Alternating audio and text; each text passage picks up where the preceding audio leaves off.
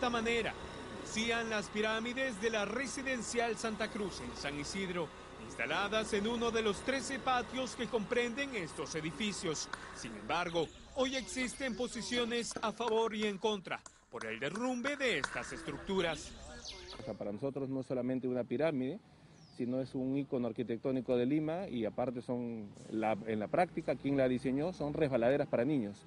También estaba a favor de que, bueno, se destruya para hacerse algo nuevo. ¿De alguna manera incomodaba esta pirámide aquí?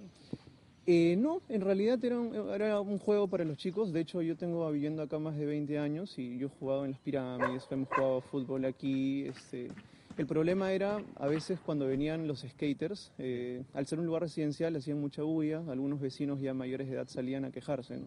Yo vivo acá más de 50 años. Señor, era una cosa horrible esto, horrible. Decíamos a qué hora lo sacarán, cuándo lo sacarán.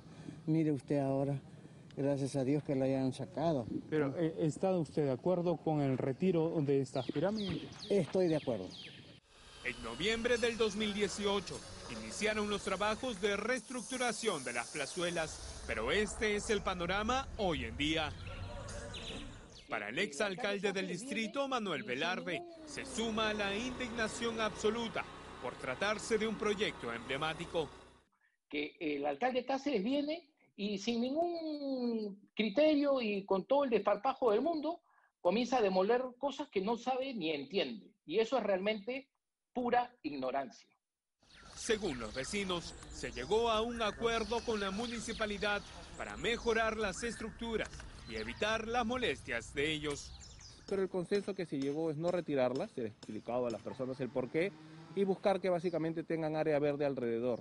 Al tener área verde alrededor, se pensó no sacarlas, pero la misma municipalidad nos dijo, si te la puedo hacer nueva, eh, es mejor. Sí, en esta residencial viven más de 2.000 personas, es eh, imposible hacer llegar un acuerdo. Lo que se trata de buscar es básicamente la opinión mayoritaria y común, ¿no?